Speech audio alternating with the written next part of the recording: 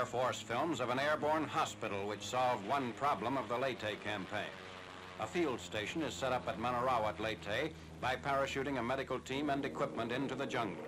Skilled surgeons, surgical assistants, delicate instruments, anesthetics, medicine, and plasma are dropped in to help units which have fought through the jungle beyond the reach of overland supply.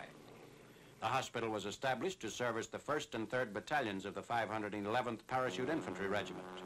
Both C-47s and small liaison planes are used for dropping the equipment and personnel.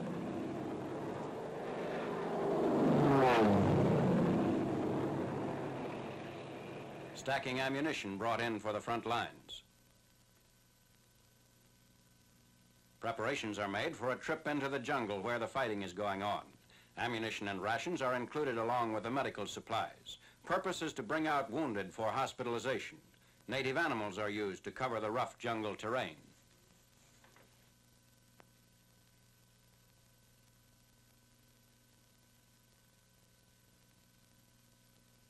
As soon as an adequate airstrip is cut out, the L-4 and L-5 liaison planes are used to bring in vital medical supplies and take out badly wounded patients.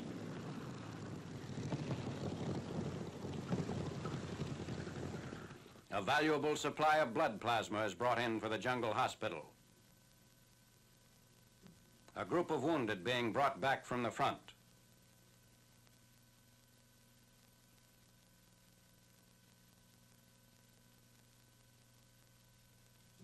Some of the less seriously wounded ride in on Carabao. A patient is helped into the hospital camp.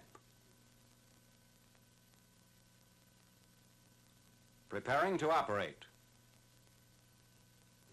As many as 70 patients a day are cared for at this jungle station.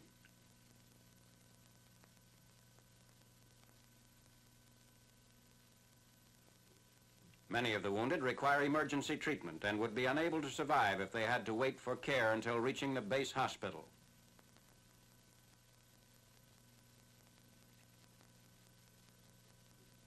After the more serious cases have been given emergency treatment, they are evacuated by air with an improvised litter installed in an L-4 plane.